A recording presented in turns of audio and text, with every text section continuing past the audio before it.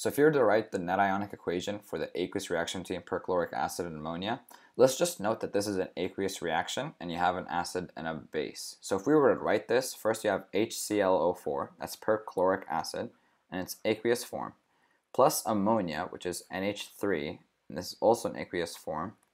This will give you, now since ammonia is a base and accepts protons, it's going to accept a proton from HClO4, and you're going to get NH4 and then plus, and this is going to be an aqueous form. And then you have H ClO4 that's going to be left, so you have ClO4 minus in this aqueous form. Now how do we get this to become a net ionic equation?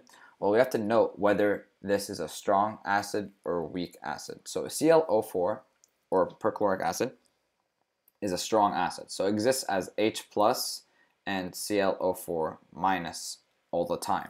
It's, it's completely dissociated. Now, since this is completely dissociated, we have ClO4 minus in the reactants and ClO4 minus in the products. So these cancel out.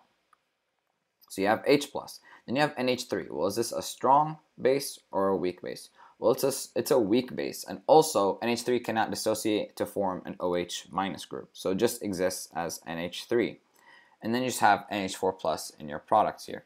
So your or net ionic equation would be H plus, which is the proton that ClO4 minus donates, plus, and this is an aqueous form, plus your NH3, which is your base, also exists in aqueous form, and this will form your NH4 plus, which is your ammonium ion forming an aqueous form. And ClO4 minus here is canceled out with the ClO4 minuses existent in the reactants since this is a strong acid.